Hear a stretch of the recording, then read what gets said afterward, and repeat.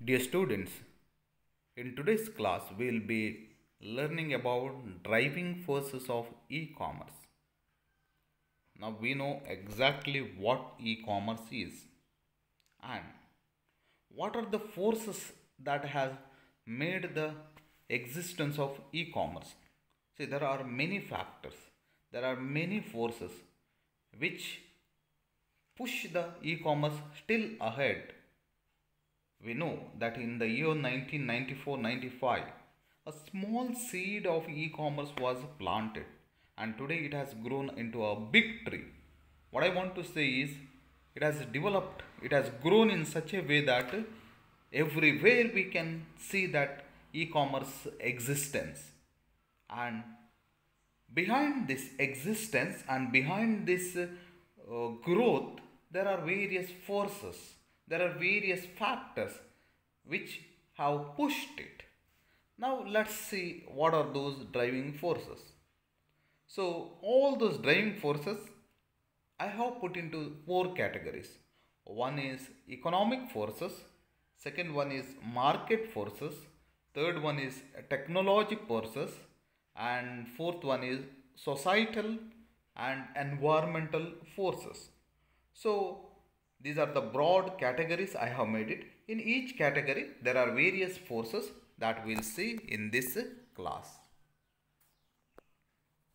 So, economic forces. Economic forces means that all which are uh, which can be calculated in the money wise.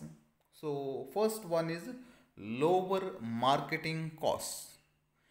Marketing on the internet may be cheaper and can reach a wider crowd than the normal marketing medium. I hope you all accept this because the costs of marketing are very low in the internet or online marketing. It's because you are just presenting the item through the website and you can reach to a wider crowd to a large crowd. But in the normal marketing medium your marketing strategies are restricted and you can reach to a limited crowd. Therefore this is one of the force that you can reach to a wider crowd and you can lower your marketing costs. Second one is lower sales costs increase in the customer volume do not need an increase in staff as the sales function is housed in the computer and has virtually unlimited accessibility. See, here we must know that a large quantity of the products could be sold but you don't require to widen your shop because items are presented only through the website through the computer. Therefore you need not require to have a big shop. In another sense if your customers have increased you don't require a vast, vast scale of staff. Because a same staff who is catering in a particular area can go and sell the products. Therefore the staff number is less sufficient shop is uh, less sufficient and uh, your product are sold in a larger quantity therefore you will be getting that benefit also. Then third one lower ordering processing costs. See in the online ordering so online ordering can be automated with checks to ensure that orders are correct before accepting, thus reducing errors and the cost of correcting them. What it says is, in the offline or traditional commerce, you require a people to take the order, then they have to process, go through everything. But in the online ordering system, the computer itself or the website which you have framed that itself checks the order and it is automatic. So you don't require a person to go through the order or take the order.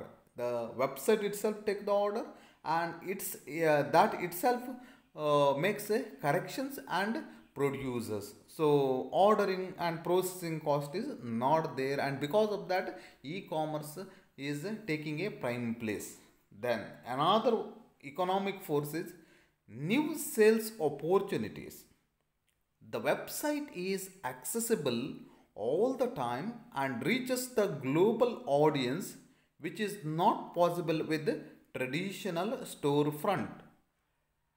What it says is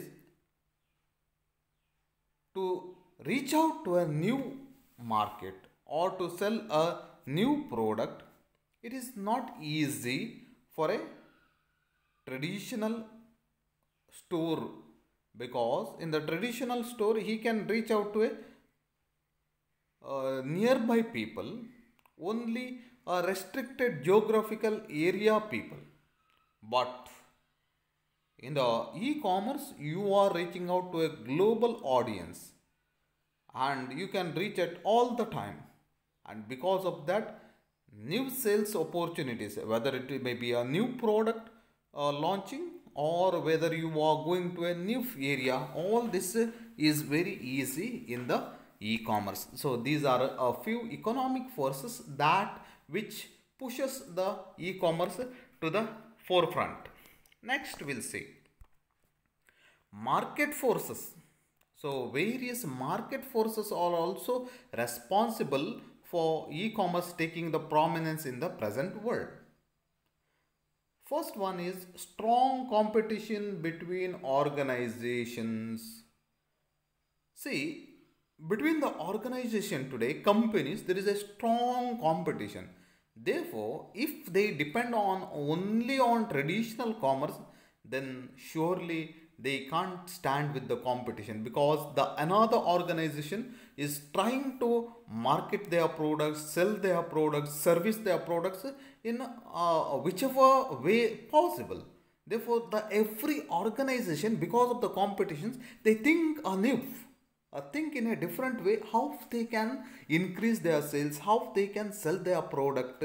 So all those things they plan out. Therefore the major uh, uh, a major help that they can get is through e-commerce. Therefore every organization today goes for the e-commerce. This is one of the force push for the e-commerce.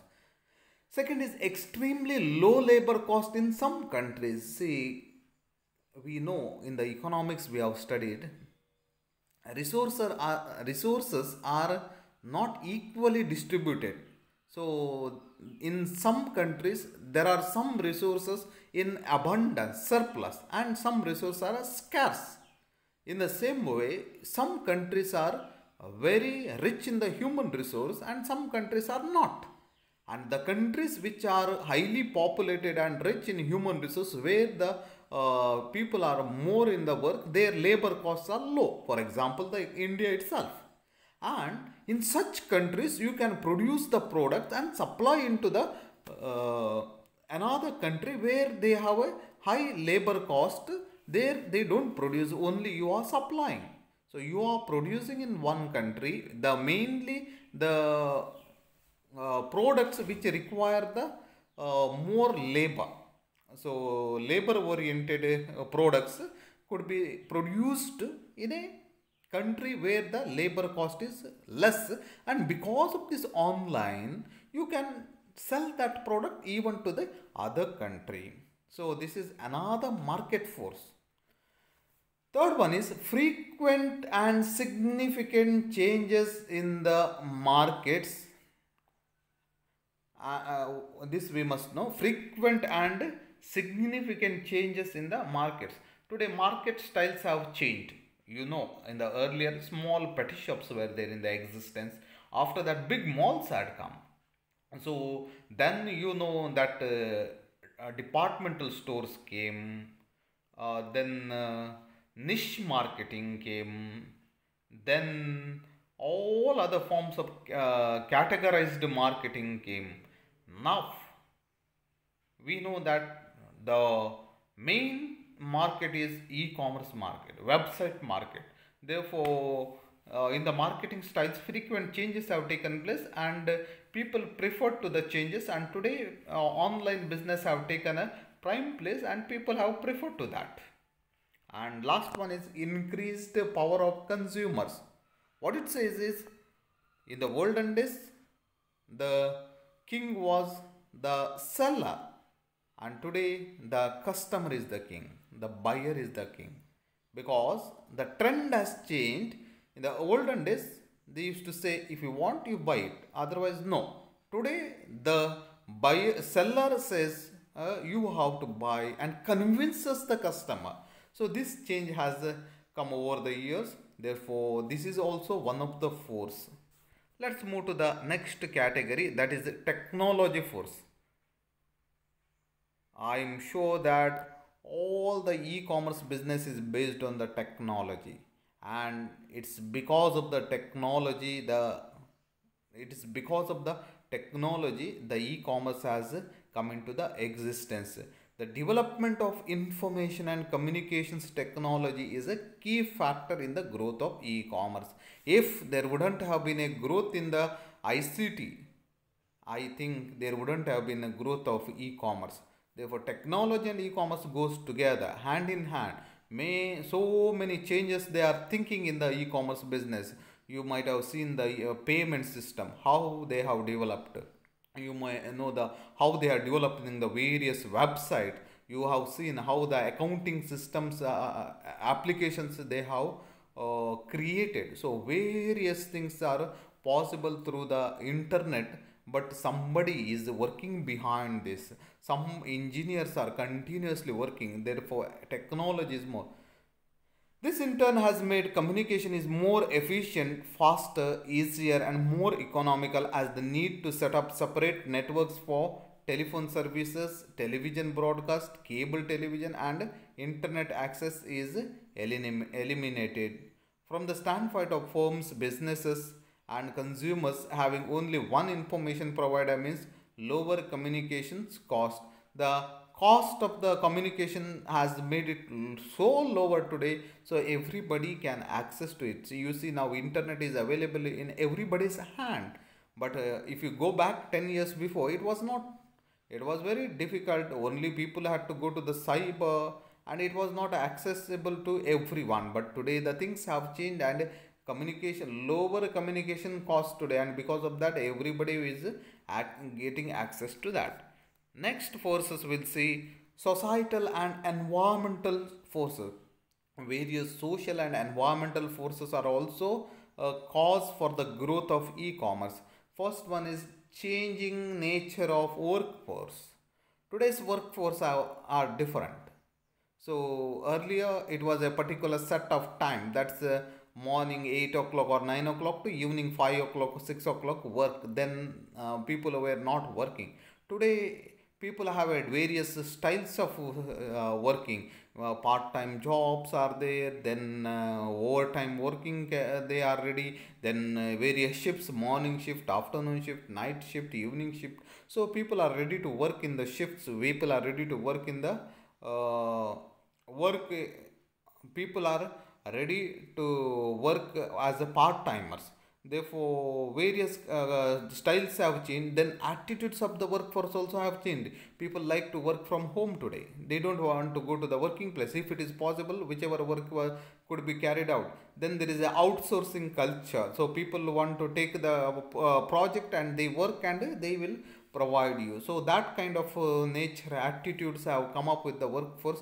And because of that uh, this change e-commerce has taken a prime place. Then government deregulations. The regulations were very strict of the government and now some government some liberal, liberalization has made from the government and that is also one of the force for e-commerce. If earlier we know uh, before the globalization there was this e-commerce we cannot think of at all because because of the globalization the country these gates of the various countries are open. You can buy the product or sell the product in any country. But earlier it was not so. So because of uh, government deregulations also e-commerce is pushed up and developed. Shrinking government subsidies. So in the olden days, what was there is uh, government was giving the subsidies for uh, shopkeepers and all and uh, for pro- producing the products. But today government have reduced giving the subsidies and because of this government uh, has have reduced giving the subsidies. And uh, because of this uh, companies are thinking to companies are thinking uh, thinking to supply it in a cheaper way. Fourth one increased importance of ethical and legal issues. See people are bothered of ethical sense and uh, legal issues are taking a prime place. So everything is observed today and uh, people are uh, thinking of the legality aspects. Therefore everything should be systematic.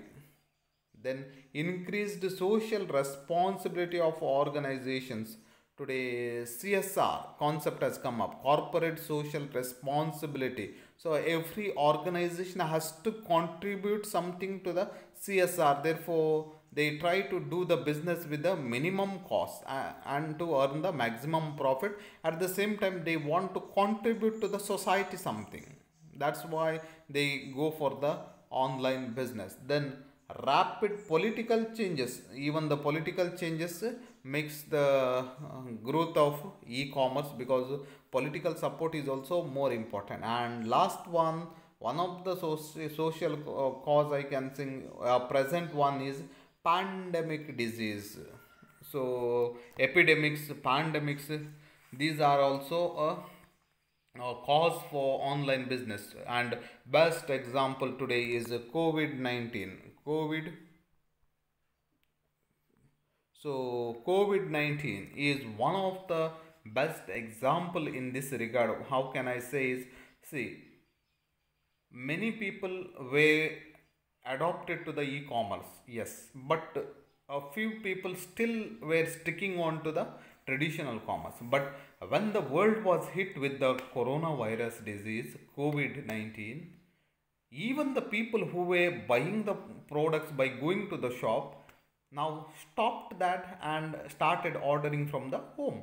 Many people are not coming out of the house today. They are sitting in the house and they are doing the business they are uh, buying the products from the house. Not only regarding the product even we you see the payment systems. Earlier people used to go to the banks. Today they don't go. The, even those who never knew about the uh, online uh, banking internet banking today people have started with that even education today students are not going to the college. And uh, education is also uh, knowledge is supplied through the on websites. So these all things are um, changed because of the pandemic disease. Therefore these uh, pandemic diseases also uh, one of the causes which force the uh, e-commerce. And uh, best is coronavirus disease. This has forced the uh, um, forced the e-commerce to come into the first place and uh, taking the prime place. Therefore development of e-commerce has come uh, uh, development of the e-commerce has taken place due to the various factors and these are the four forces uh, economic forces market forces then technological forces then social and the environmental forces have made a tremendous change in the e-commerce